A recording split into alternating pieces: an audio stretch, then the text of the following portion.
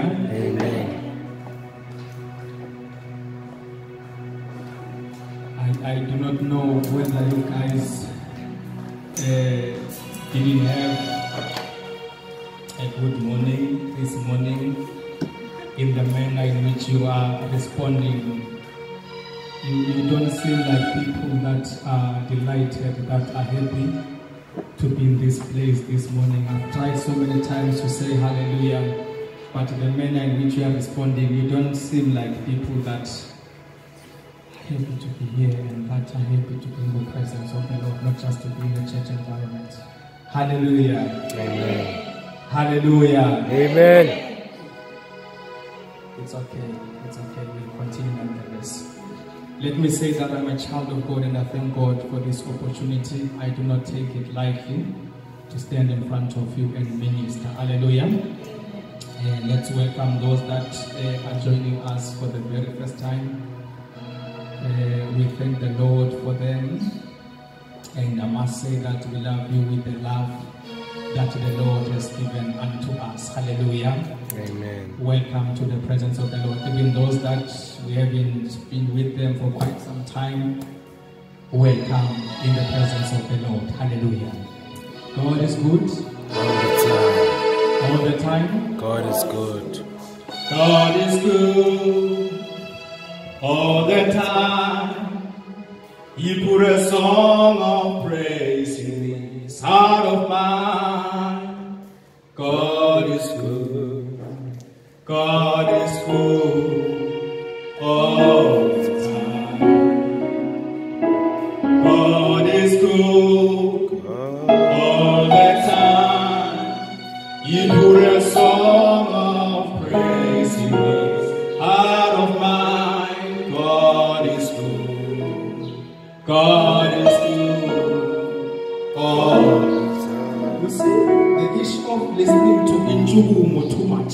You must diversify, hallelujah, so that you can be able to move at whatever wavelength that you may be catching up. Hallelujah. Yeah, even if you get into traditional, you are there. Even if you get into international, you are there. Even if you get into classic, you are there. Hallelujah. Praising the Lord.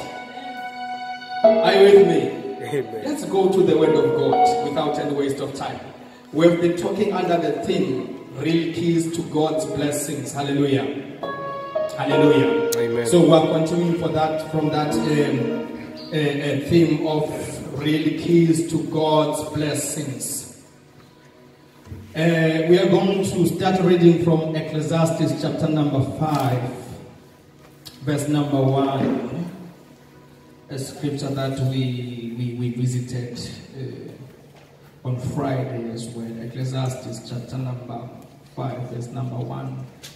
Those with microphones next to them, may they assist us in reading.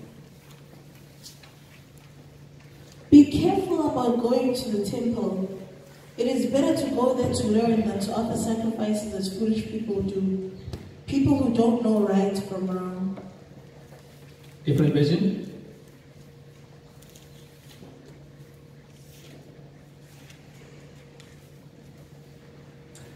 Keep thy foot when thou goest to the house of God, and be more ready to hear than to give the sacrifice of fools, for they consider not that they do evil. Any other version? Ecclesiastes 5, verse 1. Guard your steps when you go to the house of God. Go near to listen rather to listen rather than to offer the sacrifice of fools who do not know that they do wrong. Hallelujah.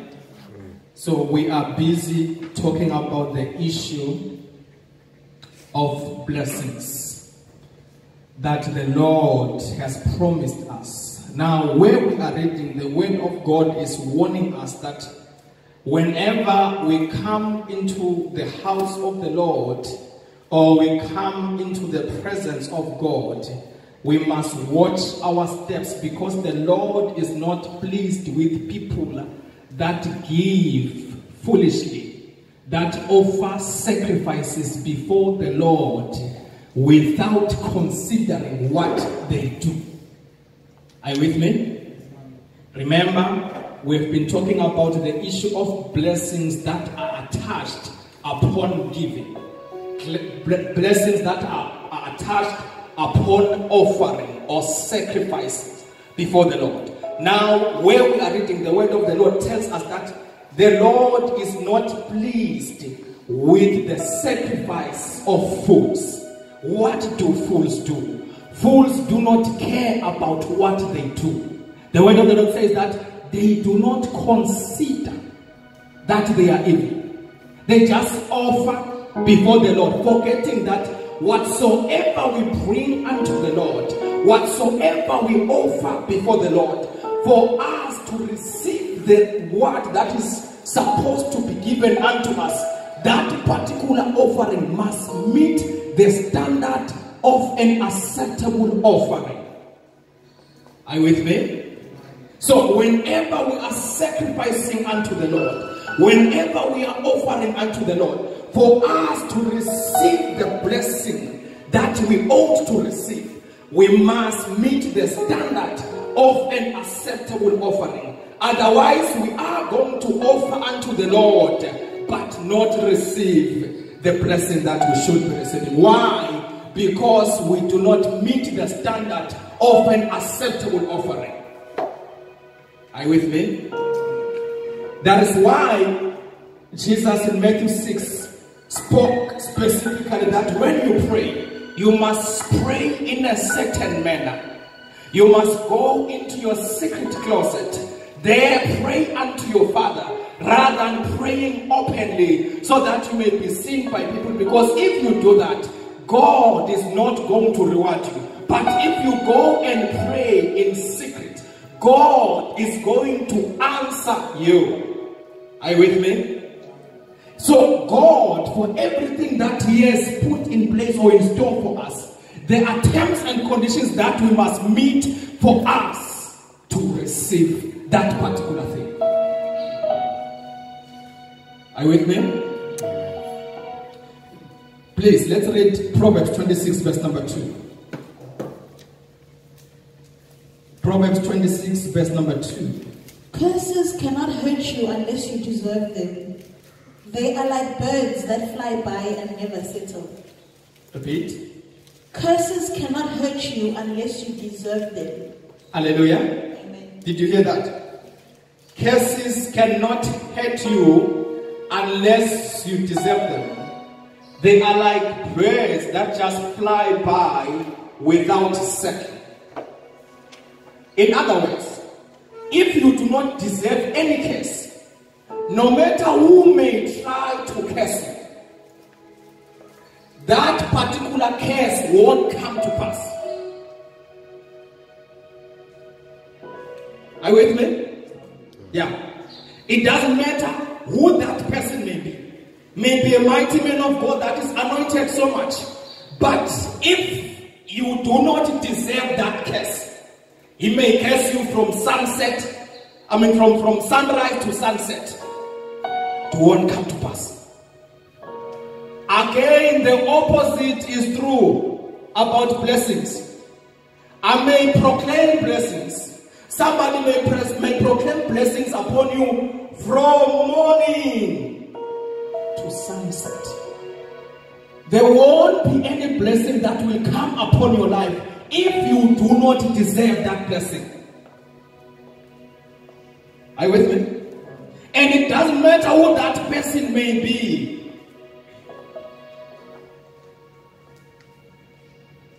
Could be a prophet, a prophetess, an archbishop, whatsoever title that you may attach to that particular person. If you do not deserve the blessing, you will not get it. The same applies to the curse. If you do not deserve the curse, you will not be cursed. Hallelujah.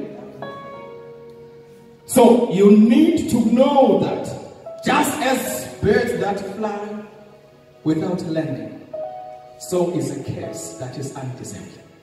It will never settle over your life. The opposite is also true. Blessings that you don't deserve, you will never get them.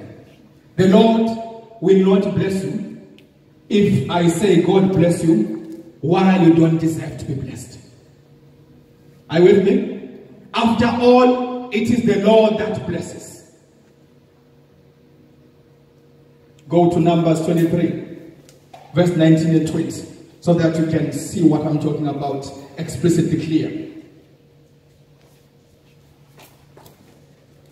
Numbers 23, 19 and 20. God is not like men who lie. He is not a human who changes his mind. Whatever he promises, he does. He speaks and it is done. I have been instructed to bless, and when God blesses, I cannot call it back. Hallelujah. Now, where we are reading, we find the issue of Balaam, who was a prophet of the Lord. Now, Balaam, as a prophet of the Lord, was approached by Balak, a certain king of Gentiles upon that time. Now, this king approached Balaam as a prophet of the Lord because he saw that whatsoever nation that Balaam cursed, it will be cursed. Whatever nation that Balaam blessed, it will be blessed. Why? Because Balaam was a prophet of the Lord. You understand? Now, this king approached him and offered him some reward for him to come and curse Israel. Now, where we are reading, it was after Balaam. Balaam has tried so many times to curse Israel, but he failed. Why? Because God was not in favor of that. Are you with me? In other words, God did not approve the curse that he was trying to invoke upon Israel. That is why he says here, God is not a man that he should lie, neither the Son of Man that he should repent. Had he said, and shall he not do it? Or had he, uh, or had he spoken, and shall he not make it good? Here he speaks about the faithfulness of God, that God, whatsoever he says, that he does. He doesn't change from it. Then in verse number 20 it says, Behold, I have received commandment to bless, and he has blessed. I cannot reverse it. Do you hear that? God has blessed. I cannot reverse it. There is no person that can bless you if God has not blessed you. It must be God first that must bless you. For you to receive whatsoever blessing that people may proclaim or declare upon your life. We're talking about what? Real keys to blessings. You need God's approval first for that particular blessing to come to pass. Without it, let me tell you, this man changed to three different places trying to build altars from one place to the other so that he could offer a sacrifice before the Lord and then try to curse Israel. But because God, as the one who is the real blesser, are you with me? Was not in favor of that. He tried. And whenever he spoke, only a blessing would come out of his mouth. Are you with me? And then the king asked him, why is it that I have asked you so many times to curse these people, but every time you are opening your mouth, you speak a blessing upon them? And then he responded, I have, I have received a command to bless. And the Lord has blessed. I cannot reverse it. I do want to do what you want me to do. But I am not able and I can't. Why? Because God has blessed. Are you with me? Real keys to God's blessings. So do not be fooled. Do not be misled. You know when you read Galatians 6, 7, the word of God says that do not be fooled. Do not be misled. God cannot be mocked. Whatsoever a man sow, that he will reap. Are you with me? We can come. All of us here. Declare blessing upon you. If God has not blessed you, you're going to continue. Without receiving that blessing. The same applies. If we come here and try to say, you are cursed, we proclaim and declare every kind of curse that you may think of. If God has not cursed, if you do not deserve that curse, it won't happen. Even if it could be an old lady with some gray hair trying to curse you. Because we, especially us Africans, I do not know where we found it. But yay, is an old lady cursing you. No. That curse, if it's undeserved, won't happen. Are you with me? But if you deserve it, it will happen. Just like a flying sparrow that flies without landing, so is an undeserved kiss. It will never land or come to pass upon your life. Again, if we try to bless you, even if we can bring some anointing, be it water, oil,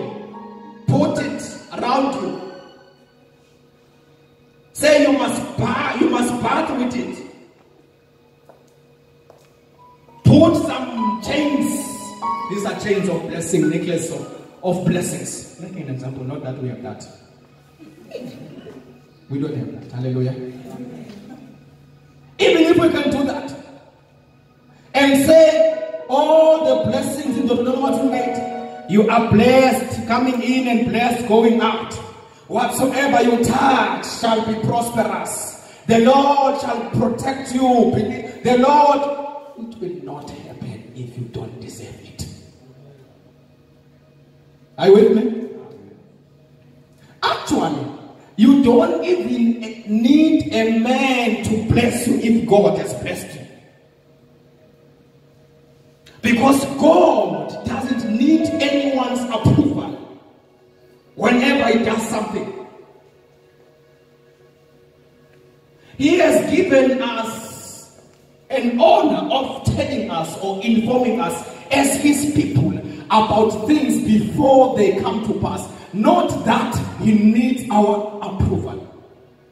That is why in Amos it says that the Lord does nothing without revealing it to his ministers or prophets first. But not to mean that he needs their approval. No.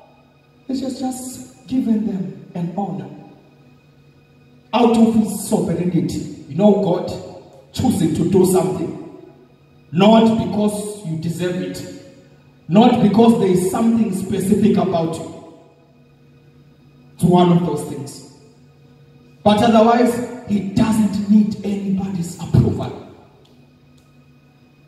Are you with me? That is good, you see?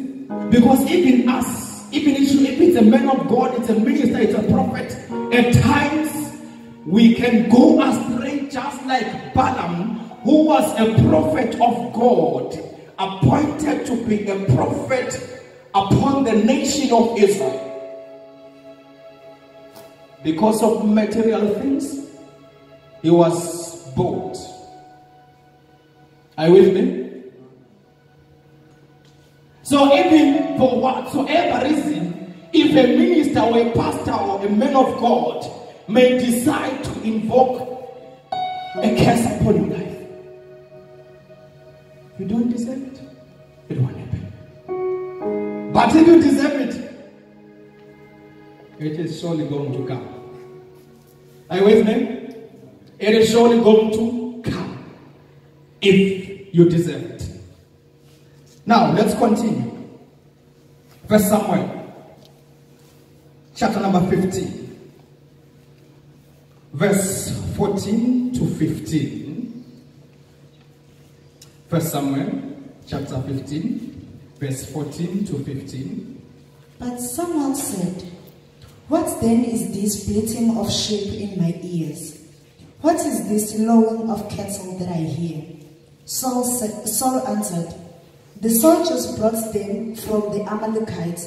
They spared the best of the sheep and cattle to, to sacrifice to the Lord your God. But we totally destroyed the rest. Before I expand on this scripture, open uh, Romans 12 1 then. Romans 12 1. Don't close the Samuel, we're going there. I beseech you, therefore, brethren, by the mercies of God, that ye present your bodies a living sacrifice, holy, acceptable unto God, which is your reasonable service. So then, my brothers and sisters, because of God's great mercy to us, I appeal to you Offer yourselves as a living sacrifice to God, dedicated to His service and pleasing to Him. This is the true worship that you should offer. Hallelujah. Now, Apostle Paul is speaking to the church of Romans, speaking to us, me and you now. Because of God's mercy, the mercy that God has shown unto us, He is saying, we need to respond in this particular fashion. What is it? That we offer our bodies as living sacrifices before the Lord that are holy and acceptable unto God, which is our reasonable service. I'll say this so many times that before you can offer any other kind of sacrifice before the Lord. For it to be acceptable, the Lord God must accept you first. Are you with me? Be it that I'm offering worship in terms of singing Before the Lord can acknowledge and accept that worship that I'm offering, the Lord must first accept me first. Are you with me? Now, with the issue of Saul here in the book of First Samuel, where we're reading, he was instructed by God go and kill or destroy everything in the nation of, of, of, of, of the Amalekites, I believe. Go and destroy everything. Yes, Amalekites. Go and destroy everything. They are, they are, they are, they are, they are, they are, they are flocks. All of it, including their kings, destroy. That was the instruction from God. Now, what happened? Saul and his people, when he arrived there, he saw that there were sheep and cows and goats there that were fed. And then he said, These ones, they do not deserve to die. Are you with me? All that which he seemed that, okay, this one seems to be fit for death. Maybe they were skinny, not so fat. They killed them.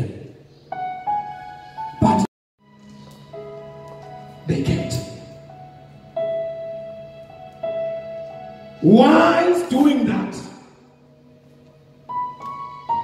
they make themselves to be unacceptable before God. Are you with me?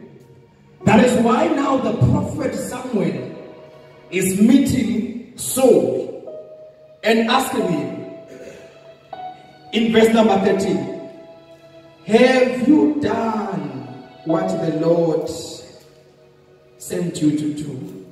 Someone said, Yes, I have performed the commandment of the Lord. That was, I mean, Saul's response to Samuel. I have done what God instructed me to do. And then someone said, What is the bleating that I am hearing? What is this sound that I am hearing around you? Because I hear sound of bleating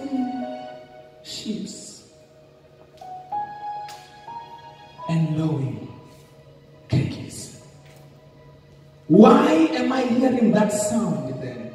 He said, These ones, we and the people decided that we are going to offer them before the Lord. Are you with me? Decided that we are going to offer them before the Lord. When the Lord had spoken clear, destroy everything. Destroy everything. Many times in our lives, there are certain things when God says, leave everything, destroy everything, that you're like, I, this one is worthy to be destroyed. But this one, I can't destroy it. I still have some good use for it. This one is still going to help me to achieve something. When the Lord God has said, destroy everything. Now let's continue to verse number 21. I mean, verse number, let's, let's go to verse number 22 and 23. But Samuel replied, Does the Lord delight in burnt offerings and sacrifices as much as in obeying the Lord? To obey is better than sacrifice, and to heed is better than the fat offerings. 23. For rebellion is like the sin of divination, and arrogance like the evil of idolatry. Because you have rejected the word of the Lord, he has rejected you as king. Hallelujah. You hear that? In verse 22, Samuel is saying, Does the Lord delight in burnt sacrifices and offering?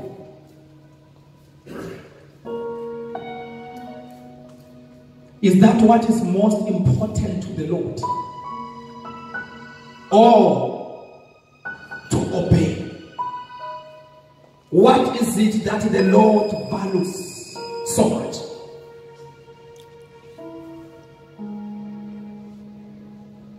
Is it what I am doing for the Lord?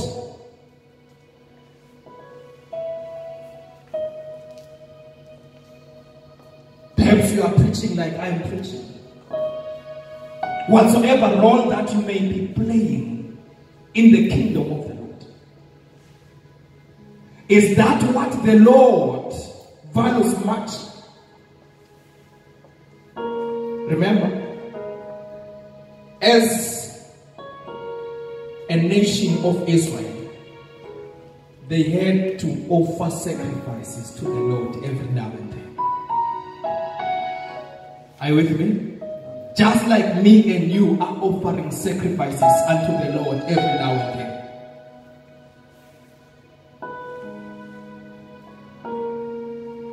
They were doing the same thing. But now their focus was more on the sacrifices and offerings than in obeying God. Do you hear it? That is where they went wrong. That is why now the Lord is saying, the Lord takes pleasure in obedience more than it does with sacrifices. The Lord delights in people that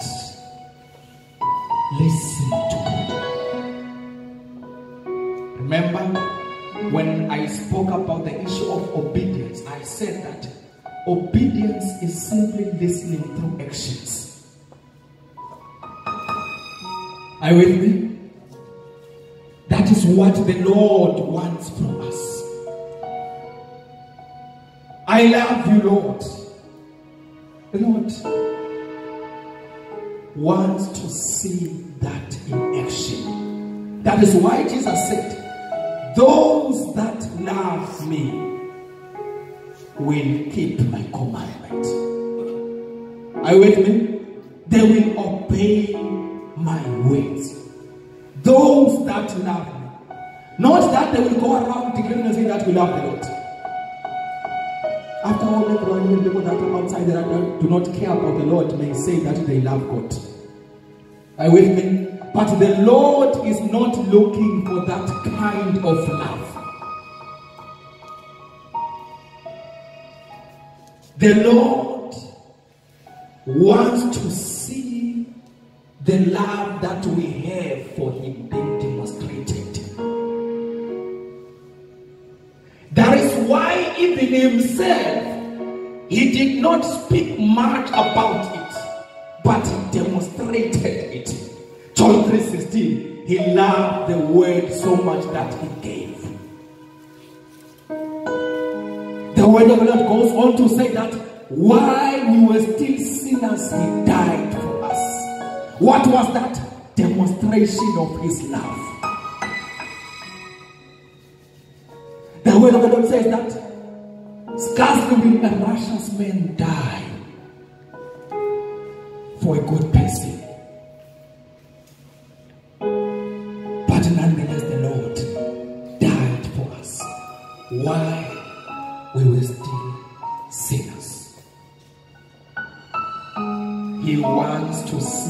Demonstrating the love that we have for Him.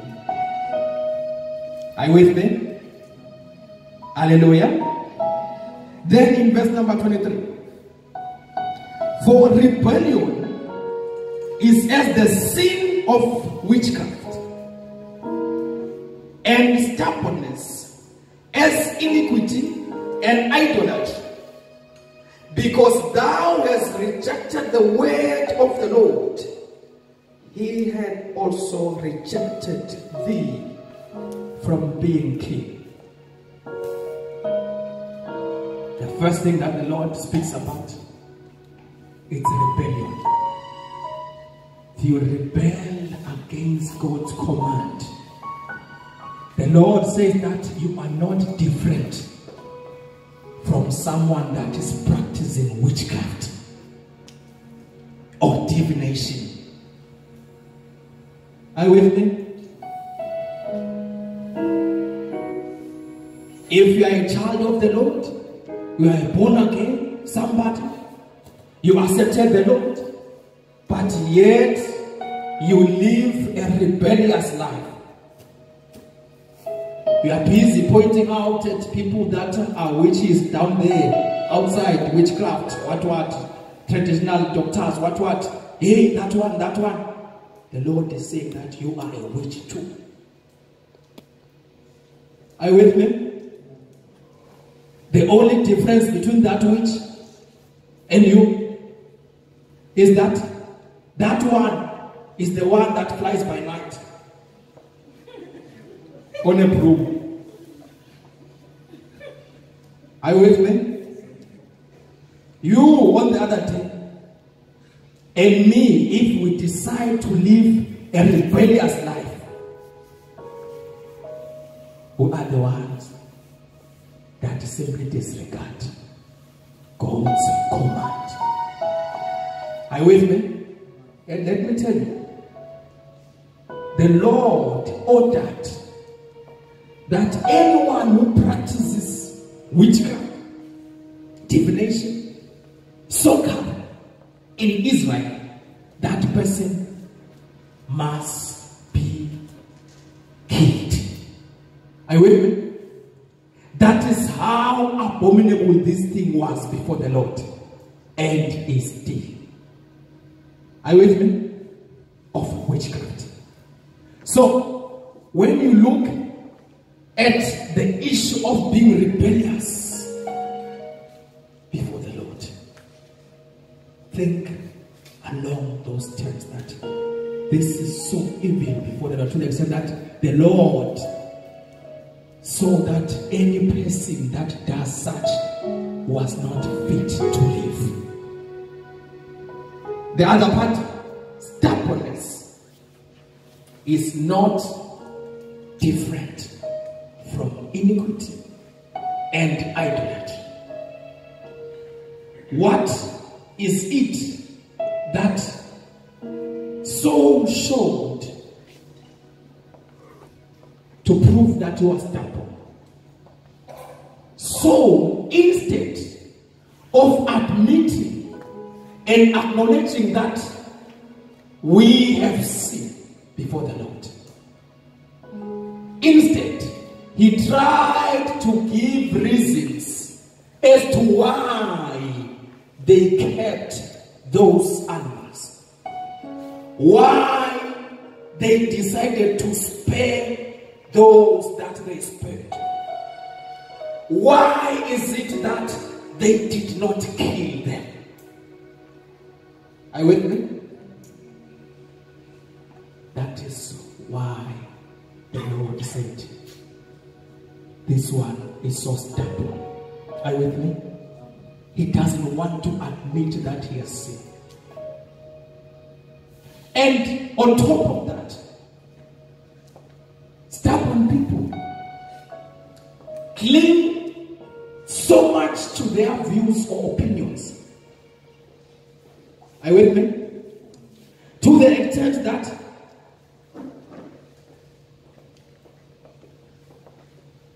it becomes an idol on its own. They worship that thing. That is why it is hard for them to give it away. You with me? Or to give in. And then the Lord is saying that stubbornness is as a sin of idolatry. Now, let me say this. When the Lord of, when the word of the Lord speaks about works of the flesh, it speaks about wrath, anger, jealousy, etc. Works of the flesh. If you are going to say, in my family, we are short tempered, people know that you don't mess up with us. You're a child of God. You will never be delivered from that spirit. Are you with me? For you to be delivered from that spirit, you must admit that this is an evil spirit that resides within me. And I need deliverance from it. Then you will find deliverance. But as long as you say, hey, everyone knows that you don't mess up with the the the Gosis, the whosoever, the Shagas, whosoever, the Mozepes, you don't mess up. You are going to remain that way. If you are going to say, I am this way, I am created this way, you are owning up to that particular thing. And the only time you are going to receive deliverance is the day you will say that this is an evil thing and I do not want it in my life anymore. Anything that derails you from worshiping God, I do not care. Even if they can say that, even your great grandfather was like this. Your grandfather, your father, even your aunt is like that.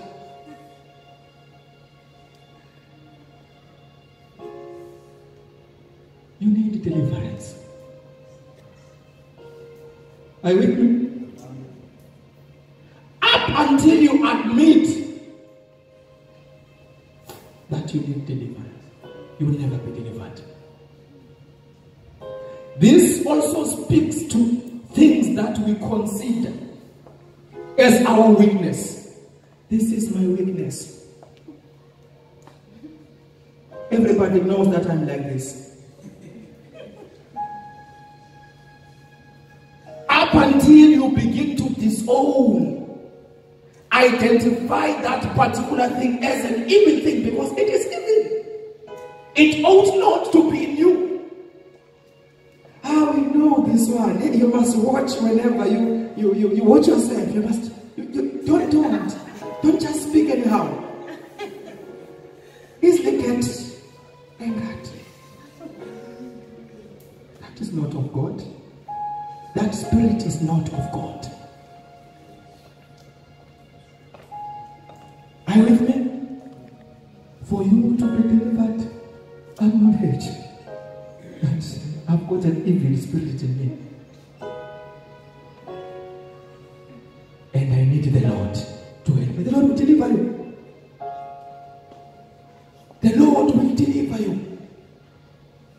But you won't up until you acknowledge that this is an evil spirit.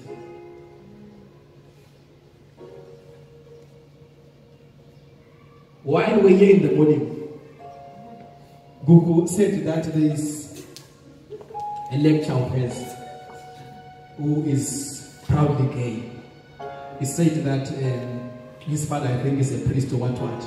So they tried to pray for him. And they said, even if you can fast. You with me? I'm not going to change. He told them that, even if you can fast, I'm not going to change.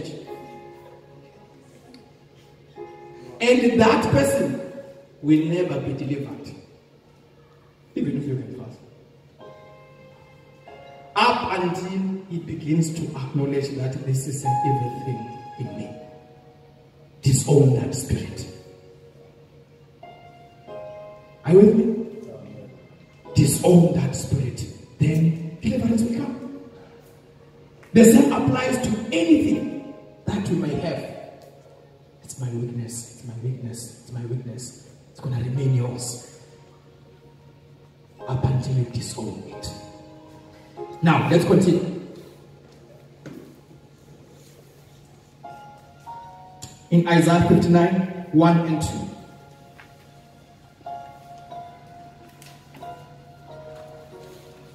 Isaiah 59 1 and 2.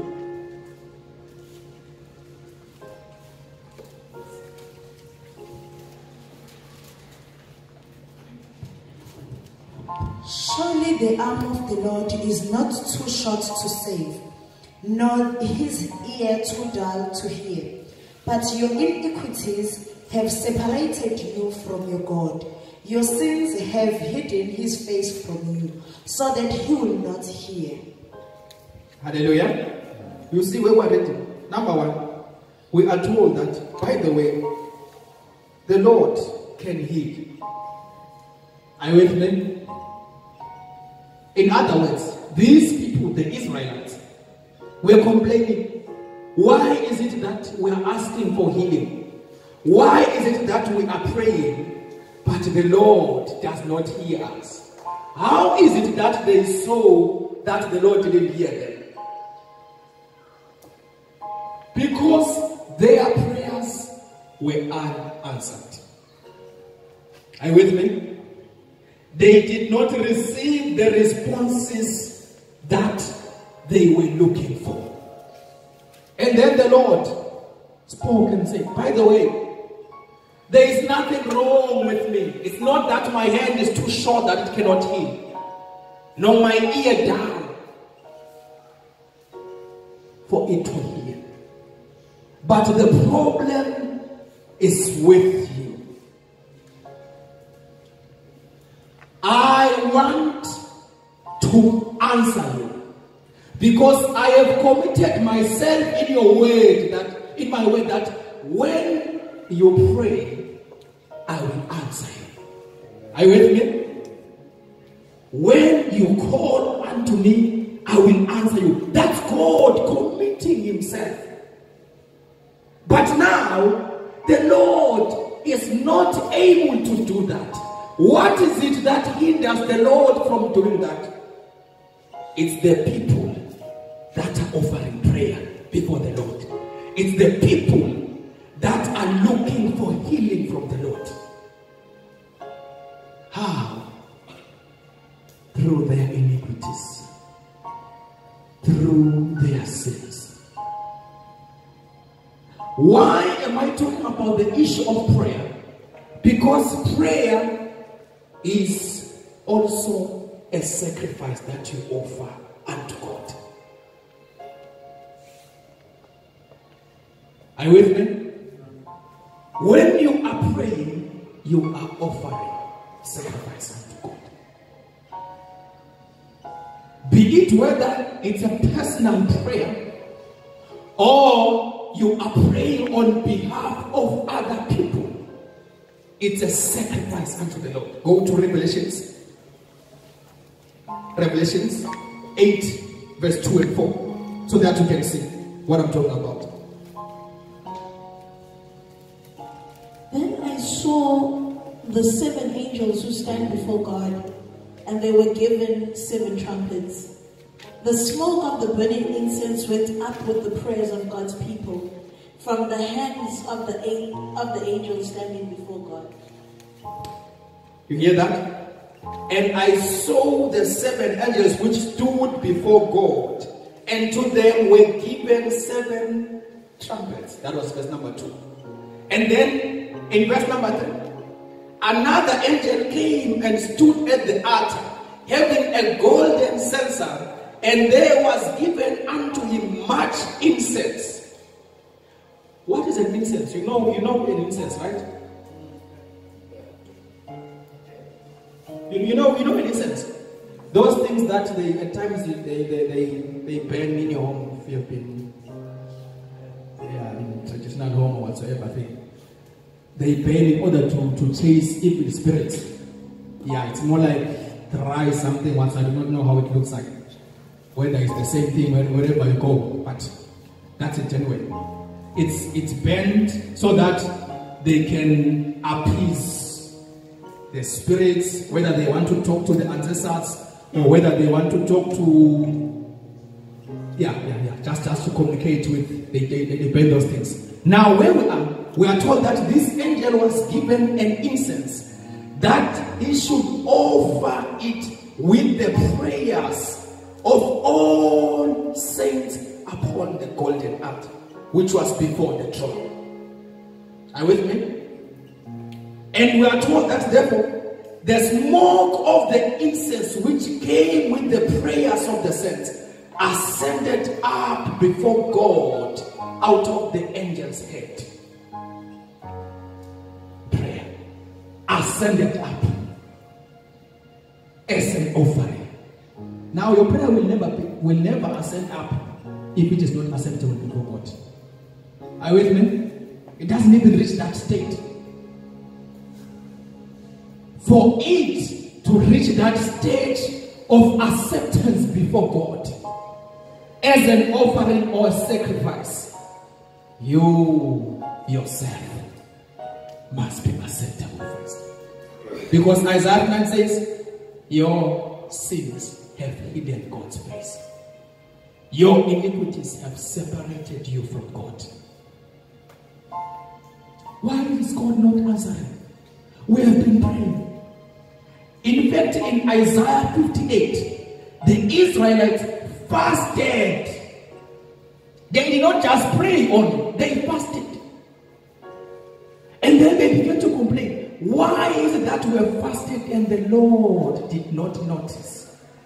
God was like, You are fasting, but you are not fasting in a manner that is in accordance to my way of fasting.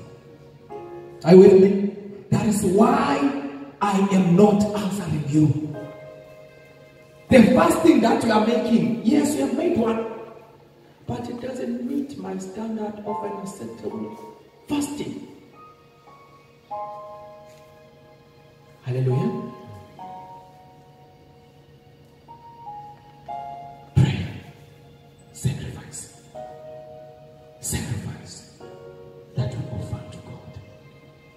It to be accepted must meet the standard of an acceptable prayer.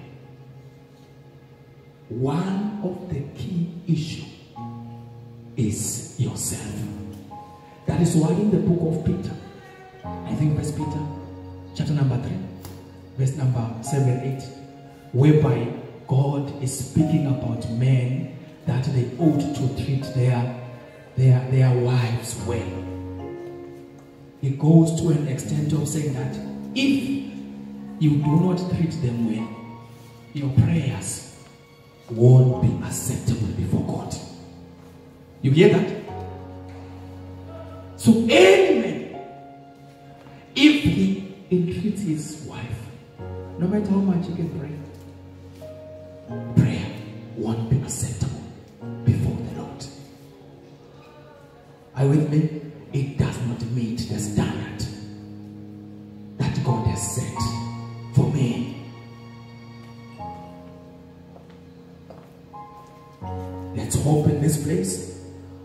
We are going to have men that will offer prayers that are acceptable before God. Why? Because they know that if they do not treat their wives the way in which they should, even their prayer before the Lord is an abomination. It's a, it's a detestable thing before the Lord. Hallelujah. Hallelujah. Psalms 19 12 to 14. Psalms 19 12 to 14.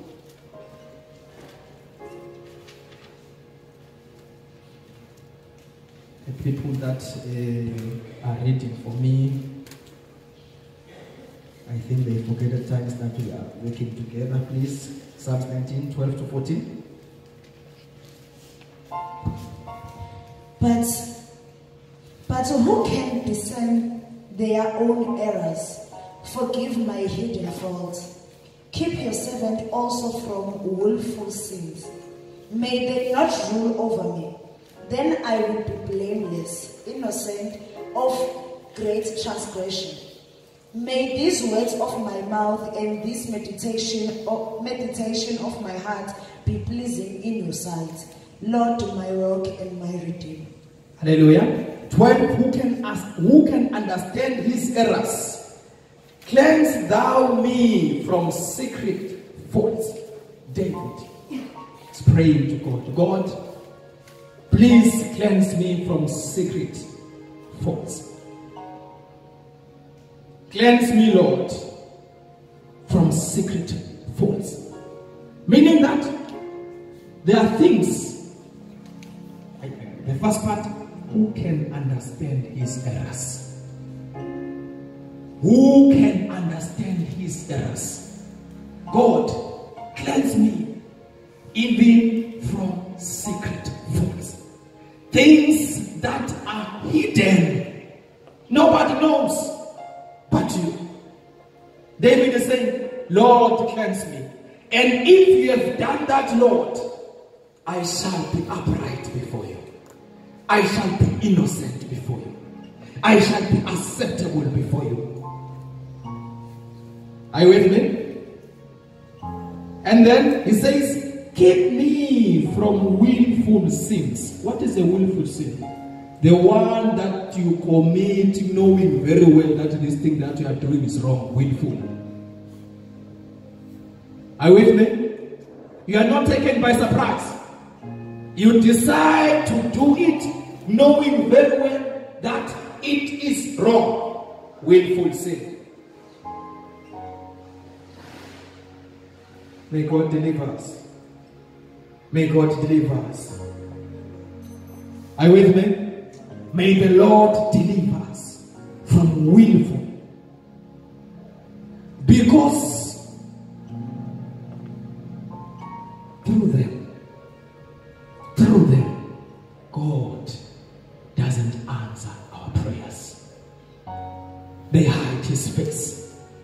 Then he goes on to say that in verse number 14.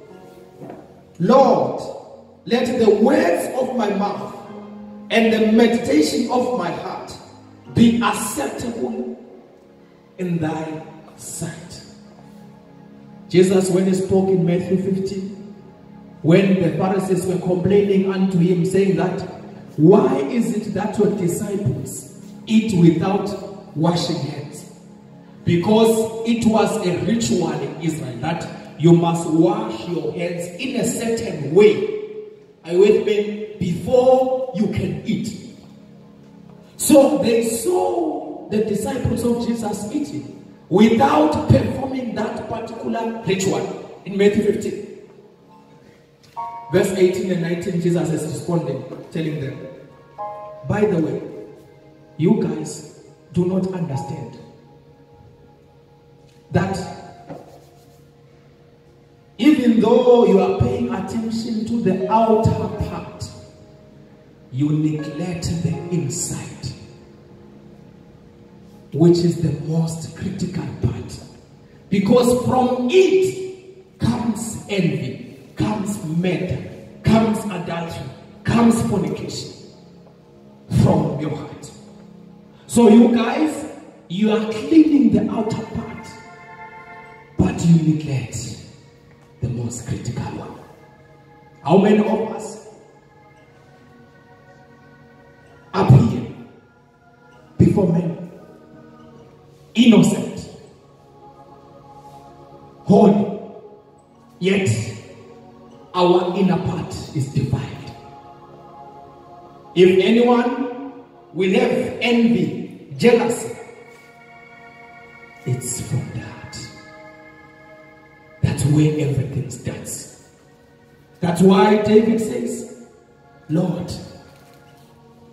may the words of my mouth and the meditations of my heart be acceptable before you. May they be acceptable before you. Lord. So that whatsoever may bring before you will be acceptable Am I speaking to somebody? Luke 18, 28 to 30. Luke 18, 28 to 30. Look, we have left our homes to follow you.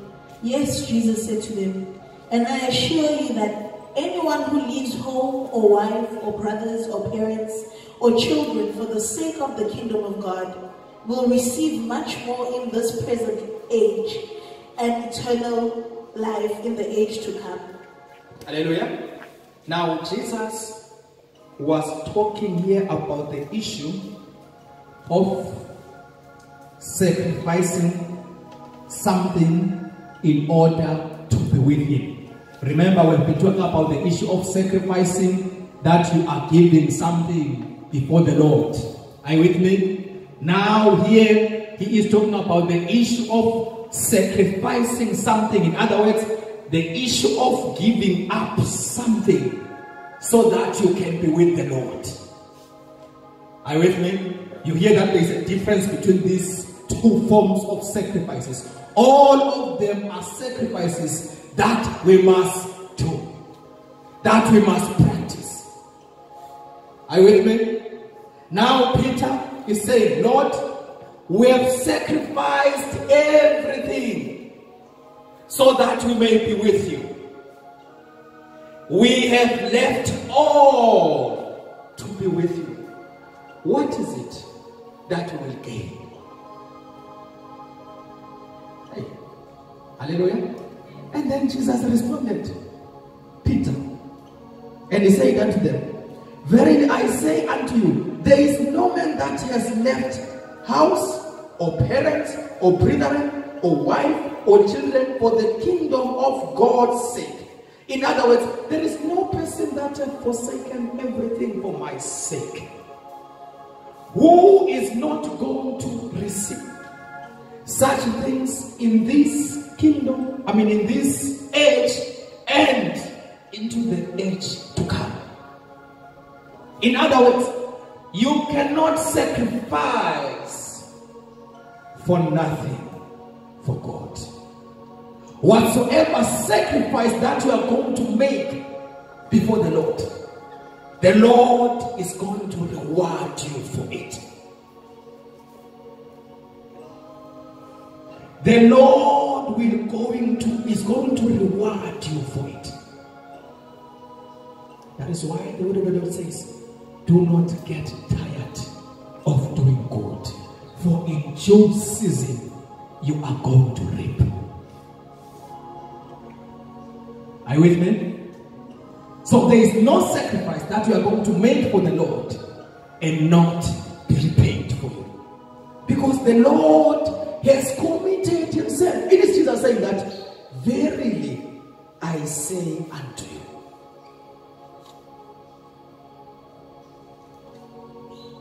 Whenever Jesus uses the words truly, truly, very, very, he signifies the importance of that statement that he's making. You with me? The instance is whereby he just respond and say, do this, do that.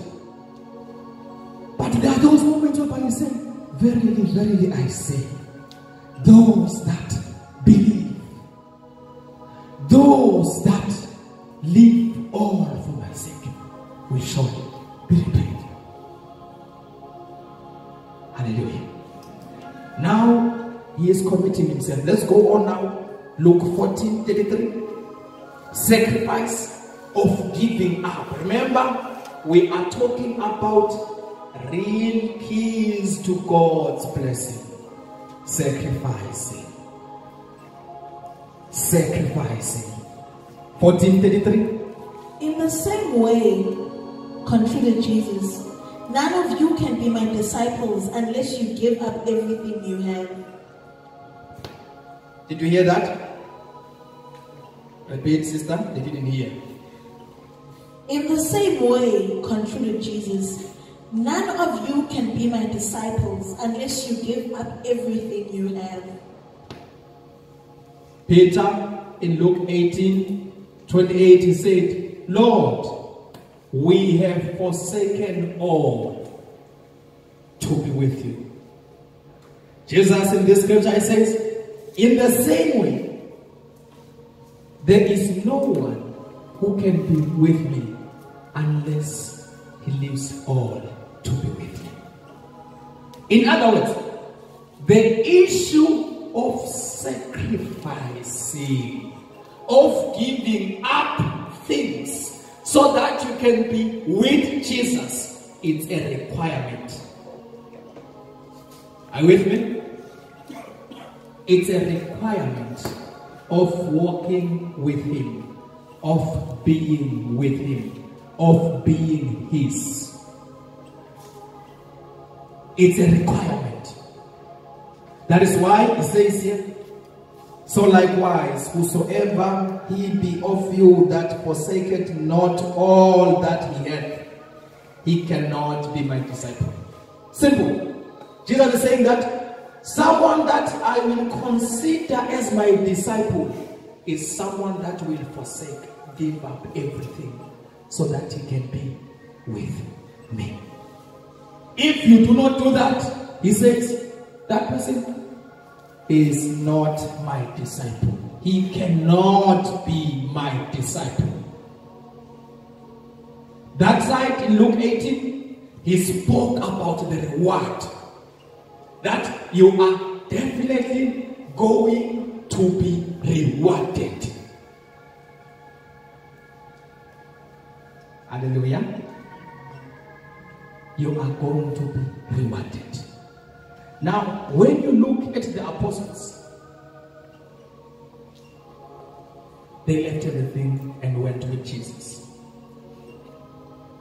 Perhaps before you get there, in Luke chapter 18, there is a rich man there that came to Jesus and said, Lord, what is it that I must do so that I can have part in your kingdom, so that I can have eternal life? Luke 18, from 18 to 23. Then Jesus said, he, first of all, he asked him, Do you know the commandments that thou shalt not murder, thou shalt not steal, uh, thou shalt not commit adultery? The, the man said, Those I have kept from my youth. In other words, I have kept all those. And then Jesus said,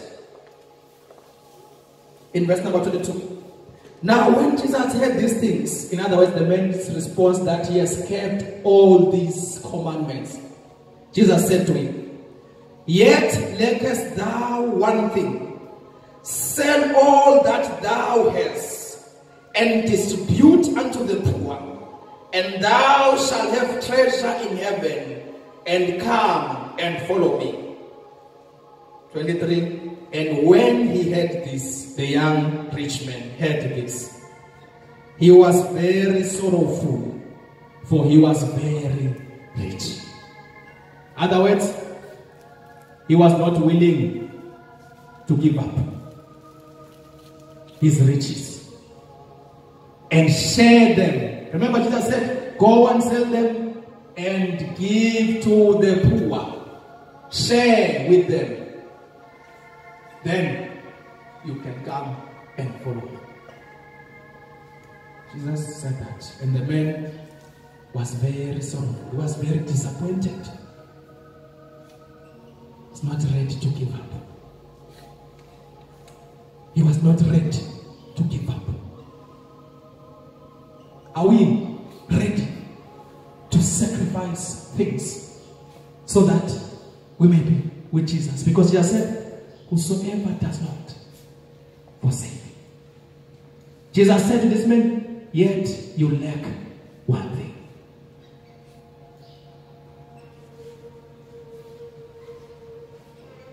Yet you lack one thing. Go and give up everything that you have. Go and sell and then distribute to the poor.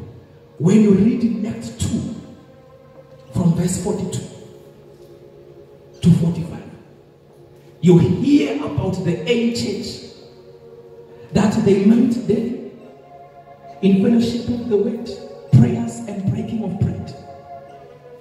And then the word of God continues to say that they that had possessions of lands, they sold it and then brought the receipt of that to the apostles, and it was shared to each according to their need. What were they doing? What Jesus said. Go and sell and then distribute to the poor. Then come and follow. And the word of the Lord says that there is none that left among them. There is no one that left anything among those people. How did they they achieve that? Because those that possessed, they understood that we have been blessed materially, so that we can bless those that do not have material things. Are you with me? And blessings. Whenever the Lord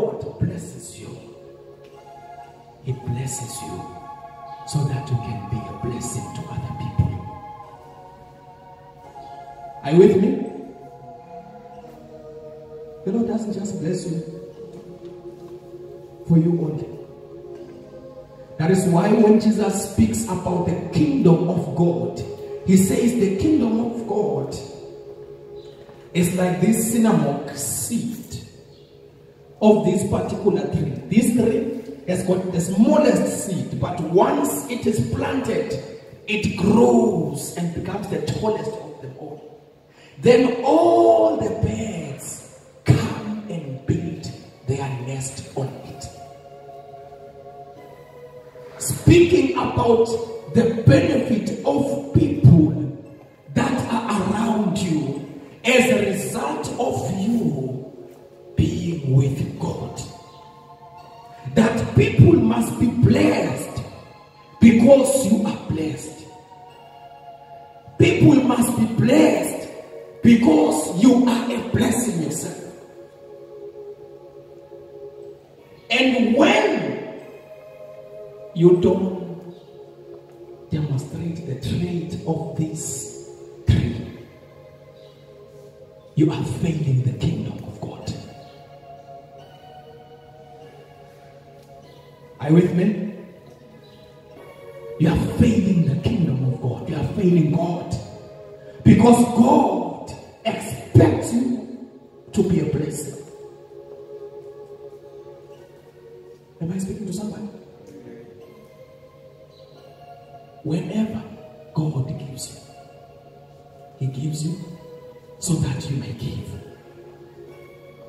That is why to this rich man he said, Go and sell and then distribute to the poor. In other words, you have been given all this material so that you may give to the poor, to the need. You remember in the previous we read the word of God whereby it says that he that gives to the rich and the one that oppresses the poor in order to gain riches, they will both come to poverty. Remember that scripture that we read? The Lord saying that he that gives to the rich and he that oppresses the poor so that he may gain riches, they will both come. In other words, there is no blessing there. That is why Jesus went on as far as saying that even when we make dinner, we must not just invite our friends only, but we must invite the needy, the lame, the neglected. Then we will be blessed. Because if we invite our friends only, they will repay us. And therefore, God has got no part there because we have already received our, our, our reward. When these people repay you by inviting you, repay you by doing you the same thing that you have done for them. That is why Jesus said in Matthew 25, in the last day, he will say to some, I was hungry, you did not feed me. I was naked, you did not clothe me. I was homeless, did not invite me in. I was sick in the hospital, he did not visit me. And they will ask him, When did we see thou, Lord? And he will say, as, as much as you did not do it to any of these, referring to people that we need, you didn't do it to me. And to those that would have heeded his call that invite the poor, sell and share, give to the needy, not to the rich, he will say to them, I was hungry, you fed me. I was sick, you visited me in hospital. I was homeless, you invited me in. And then they will ask him, When did we see you, Lord, naked and clothed you? And he will say unto them, Surely, as much as you did it unto this, you are doing it to me. Hallelujah.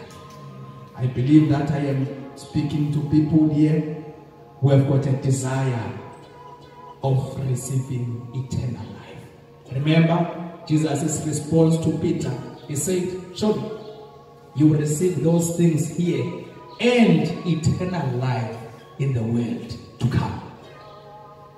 When you forsake everything for my sake. Are we ready to forsake everything for his sake? Are we ready to give up all for his sake? It will not help us to be prosperous according to the world standards. As Jesus said that, how will it benefit a man to gain the whole world and then lose his life? To not help us. Yes, people may say all those things about you that you are prosperous when they look at you because of whatsoever possessions or gains that you would have made of material things.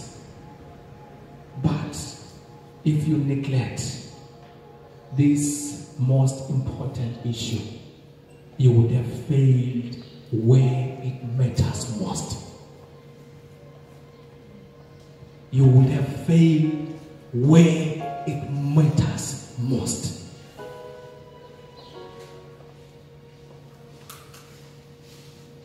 Hallelujah. So let us not fail when it matters most as believers. There are so many of us that succeed in doing other things but fail when it matters most. Fail when it comes to serving God. When it comes to giving ourselves completely to God. Remember the man in Mark chapter 9, verse 24, when Jesus in verse 23 said that all things are possible to the one that believes. The man in verse 24 responded and said, Lord, I believe, but please help me to overcome my unbelief. Lord, I have given up everything, but there are certain things that I am still entangled on. Please help me, Lord, to give up even such things. Lord, forsake even these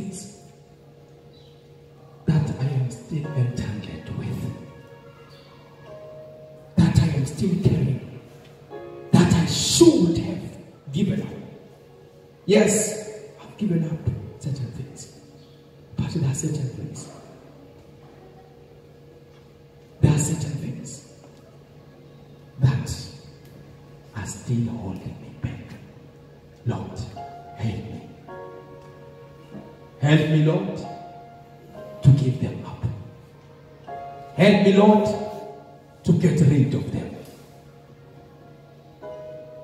Help me, Lord, to give them up.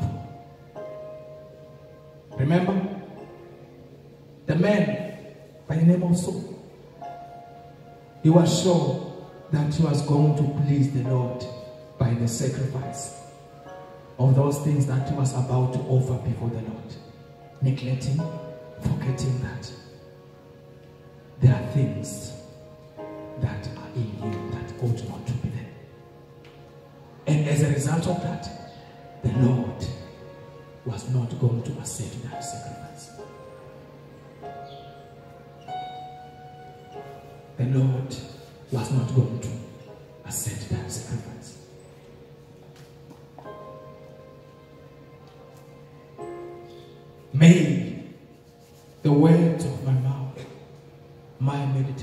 Lord.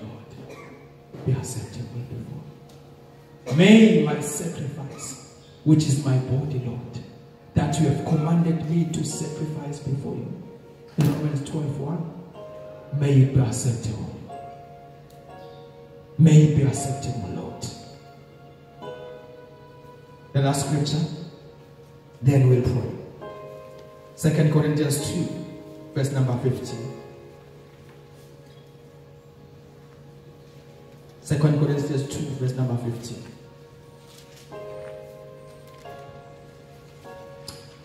For we are like sweet smelling incense offered by Christ to God, which spreads among those who are being saved and those who are being lost.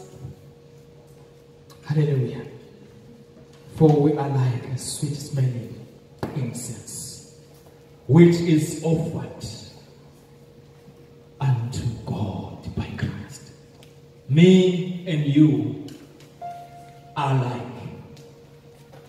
sweet smelling incense that is offered by Christ. Remember, Romans 12 said, Let us be sacrifices that are holy and acceptable unto God, because this is our true way of worship. This is our sincere worship. Then where we are it? The word of the Lord says, For we are a sweet aroma unto God that is being offered by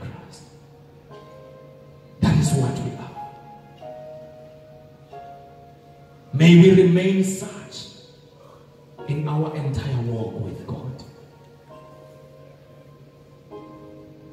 May we remain such in our entire walk with God. And if we are to attain that eternal life that the word of God speaks about, we must remain sweet smelling sacrifices. Because that means we are acceptable before God. If we are not a sweet smelling incense before the Lord, it means that instead of the Lord accepting you, he rejects you. Remember in the book of Samuel to Saul, the Lord said, Because you have rejected the Lord, the Lord has rejected you. You want to be a sweet smelling sacrifice before the Lord. You want the Lord to help you to overcome certain things. You want the Lord to help you to give up certain things that you are still holding on.